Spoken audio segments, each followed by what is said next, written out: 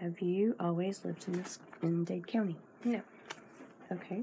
Um, how long has your family been here? About seven years. Okay.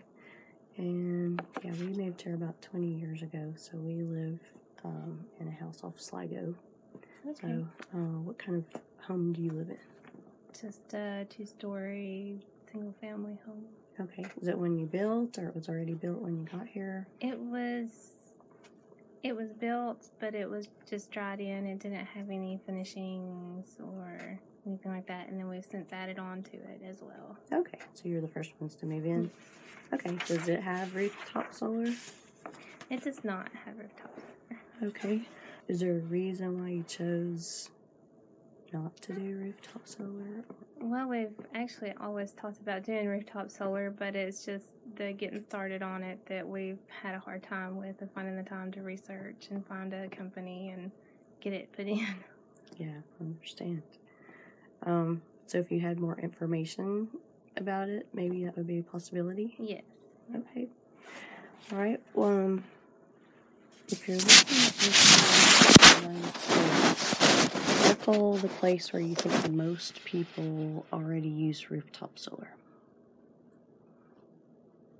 This is just your your opinion. I don't know. Probably California. Okay. And why do you think California would be more likely to have it? Um, I would just think it would be sunnier there, maybe. More Oh. sun. Good reason.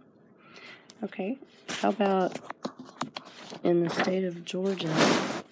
Which part of Georgia do you think would be would have more rooftop solar? Like a specific area or county Mhm. or. Um, Circle wherever you think. I would say just the southern part of Georgia. I know there's a lot of agriculture down there. I True. think maybe. Okay.